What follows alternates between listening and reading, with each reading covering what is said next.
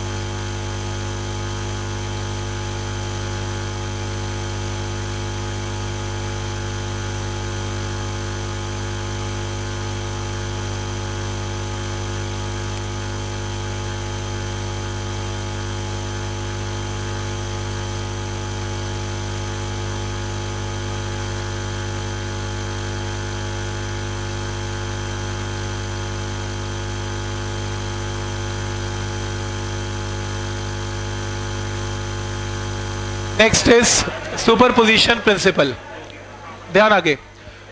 Next topic is superposition principle super position principle और super position principle में आपको ये प्लस वन के अंदर भी करते थे.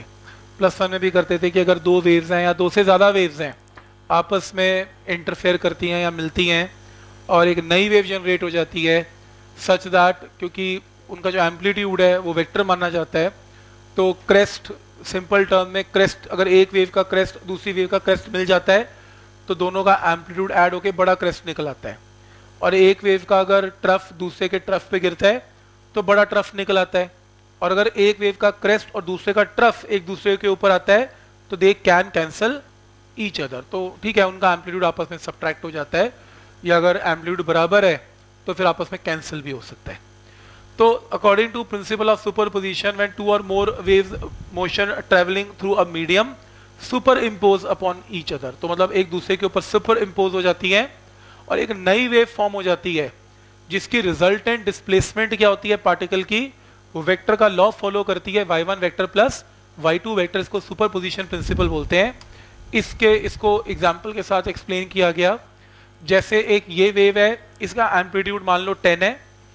एक ये वेव है, इसका एम्पलीट्यूड सपोज़ 15 है, ये दोनों एक दूसरे के ऊपर गिर गई तो क्रेस्ट क्रेस्ट पे ये 10 है या 15 है तो नई वेव निकल के आएगी, उसका एम्पलीट्यूड क्या होगा? 10 प्लस 15 25 ऐसी ट्रफ का, ऐसी क्रेस्ट का. सिमिलरली ये एक वेव है, इसका एम्पलीट्यूड है 10 ये एक वेव है, इसका एम्पलीट्यूड है 2 तो 10 में से 2 गया तो रिजल्टेंट वेव क्या आएगी? 8 की. क्या पॉइंट क्लियर है यहाँ तक? तो मतलब they can cancel each other they can be added ये सब प्रिंसिपल ऑफ़ सुपरपोजिशन है। रादर प्लस वन के अंदर हम सुपरपोजिशन स्ट्रिंग्स की किया करते थे? वेव्स आती थी और आपस में सुपर इम्पोज होती थी। उसमें ऐसा करते थे कि अगर दो वेव सामने, आमने सामने आ रही हैं सुपर इम्पोज हो रही हैं, एक नई वेव बन रही है। बड़ा क्रेस्ट बन रहा है। लेकिन इसका फाइनल डायग्राम भी देख लो। ऐसा नहीं है कि ये बड़ा क्रेस्ट बनर खत्म हो गया। अगला डायग्राम देखो। ये राइट आ रही है, ये लेफ़्ट आ रही है। अगले डायग्राम में आपको दिखेगा, ये राइट जा रही है और ये ये इंस्टेंट पे है। किसी इंस्टेंट पे बड़ी वेव बनी, फिर एक दूसरे में से क्रॉस होके आगे पास हो गई। बिल्कुल उसी तरीके से एक ट्रफ आ रहा है और एक क्रेस्ट आ रहा है। ये आपस में मिलेगा तो आपस में एक छोटा सा क्रेस्ट बना, क्योंकि ये बड़ा है और ये छोटा है।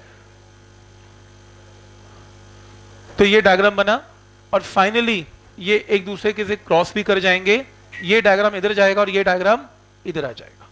तो ये प्रिंसिपल ऑफ़ सुपरपोजिशन है। क्या ये पॉइंट सबको समझ में आ रहा है यहाँ तक? ये क्रेस्ट और ये ट्रफ ये पास आ रहा है, ये मिल गया।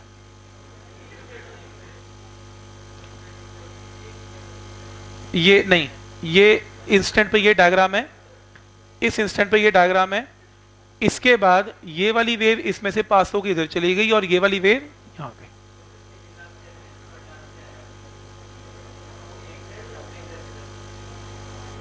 एक साइड का एक ही बन जाएगा ना?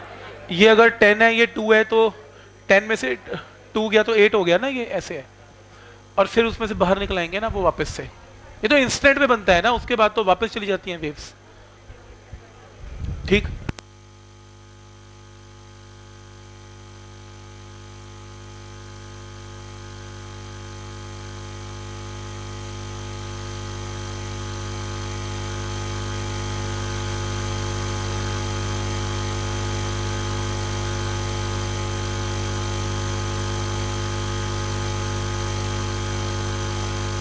इंटरफेरेंस ऑफ़ लाइट आपका इंपॉर्टेंट टॉपिक है, इसको मार्क कर सकते हैं। पूछा जाता है बोर्ड में what is interference of light सीधा क्वेश्चन आता है।